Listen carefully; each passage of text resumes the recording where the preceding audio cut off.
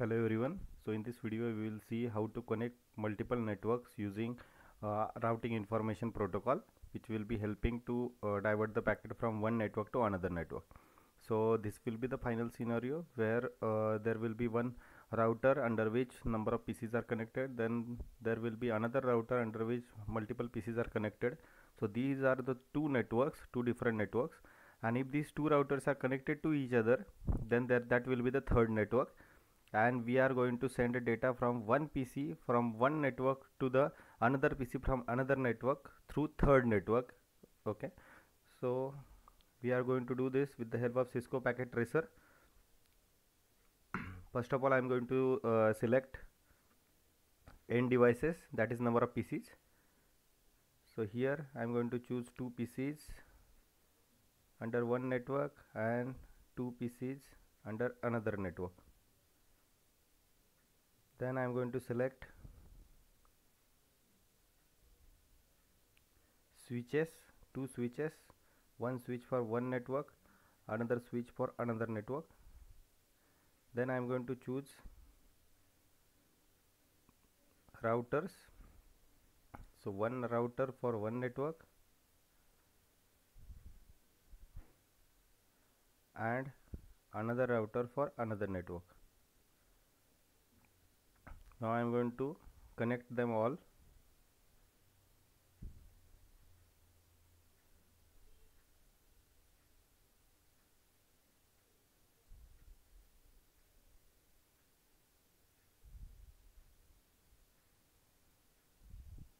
So these two are the two different networks. The router is nothing but acting as a network service provider who is providing IP addresses uh, to the PCs underlying it.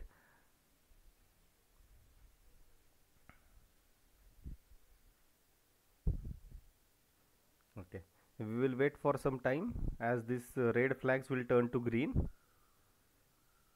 Till the time we will assign IP addresses to PCs so as this is one network I am going to assign one IP address under this. So I am assigning 192.168.1.2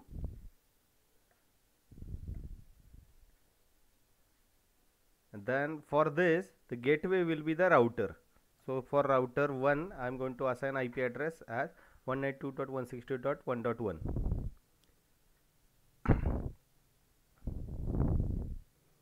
then to the another PC I am going to assign IP address as 1.3 and default gateway will be the router's IP that is 1.1 to the another network I am going to assign 192.168.2.2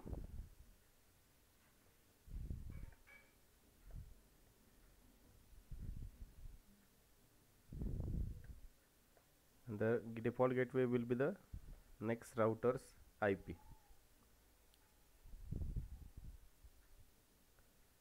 then again I am going to assign IP address here as 2.3 and the default gateway will be router number 2's IP address. Okay that's it. Now we are going to configure routers. Okay so for configuring router you have to click on a router. Then in under the config we have to assign IP address under this gigabit ethernet 0 slash 0 0 slash 1 or 0 slash 3 okay?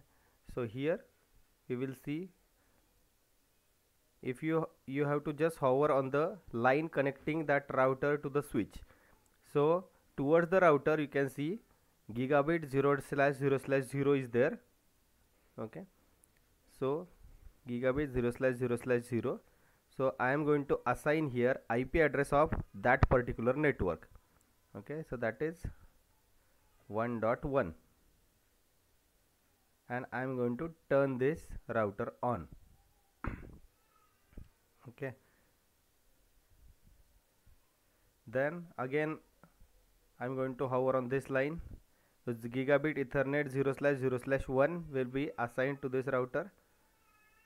So gigabit ethernet 0 slash 0 slash 1 so here I am going to assign third uh, network ID that is suppose 10 dot 10 dot 10 dot 10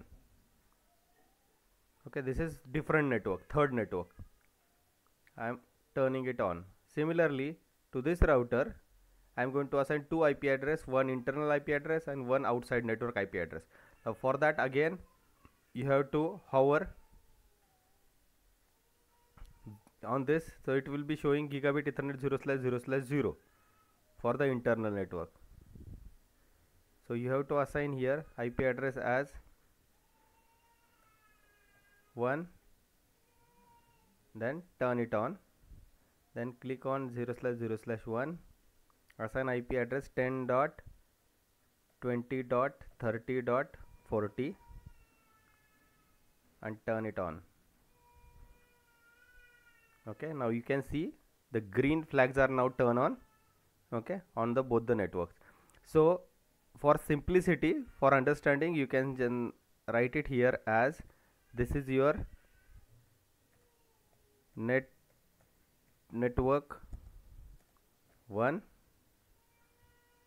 this is your network 2 and this will be your network 3 and IP address also you can assign. Like a network ID for the first network is 192.168.1.0 and to this other network it is 192.168.2.0 this is a network ID and for third it is 10.0.0.0 okay? And now now now you can see there are three networks. For the first network is this one. Another network is this one. Okay? And the two networks are getting connected using the third network. Okay?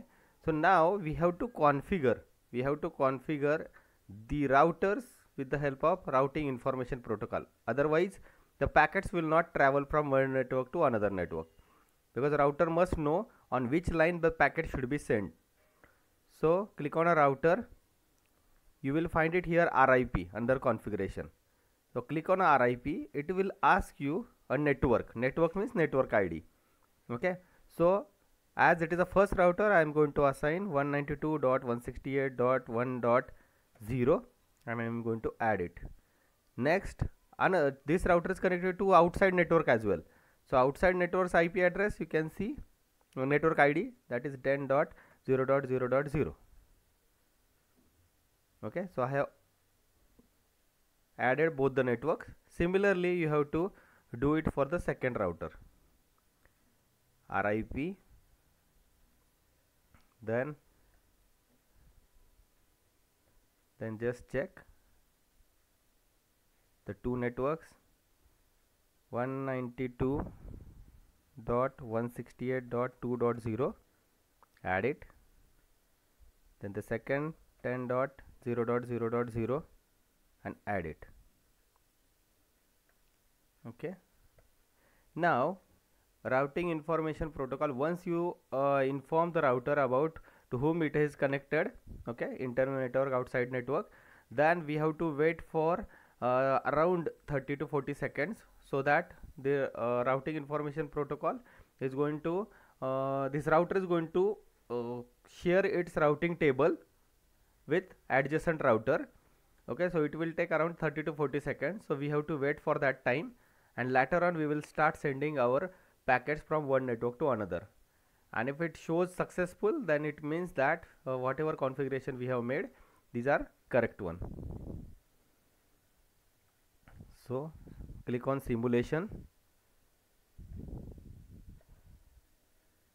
Just wait okay bring them all nearer.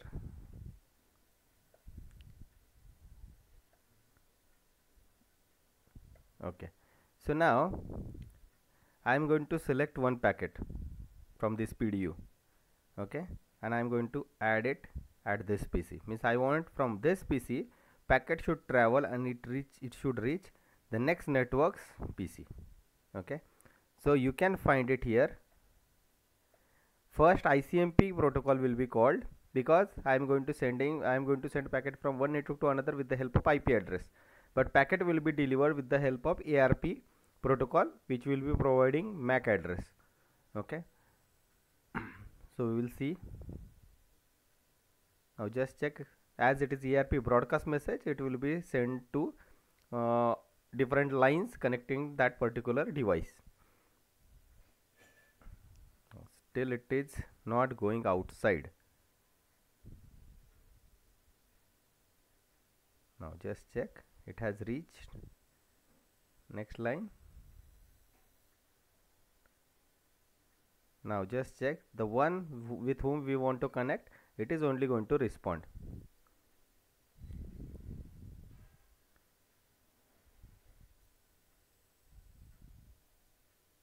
now this just just check RIP version 1 is called. Okay.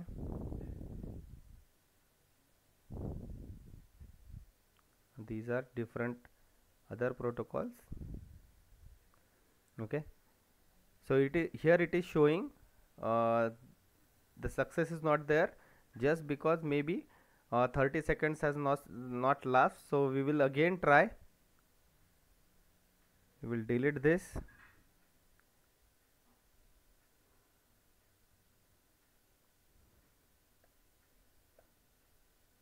we will try it again. Okay. Again select a packet. Click on suppose this PC and the another one. Okay. And try to send.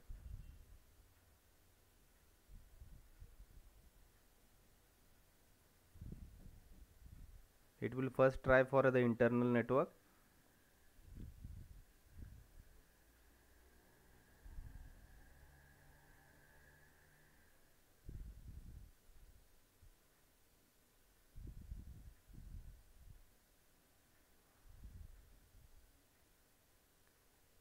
now just check it shows the packet sent successful.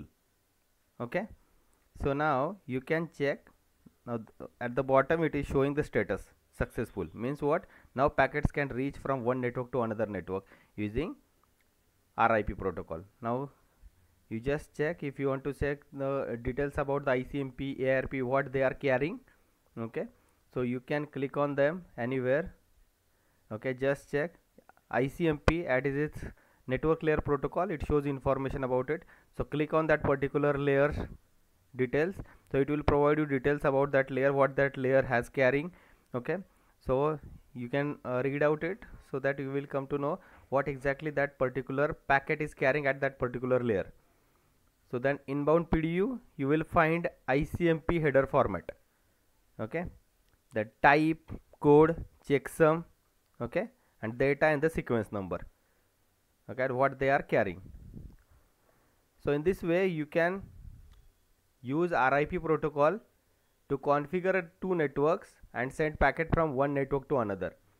Because if you are using router to connect to two different networks you have to use RIP protocol or static routing protocol to send packet from one network to another.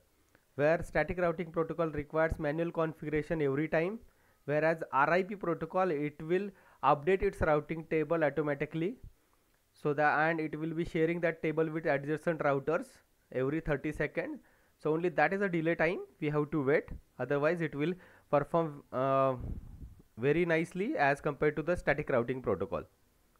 So that's all uh, regarding uh, RIP protocol uh, for configuring two different networks and connecting them together for sending packet from one network to another network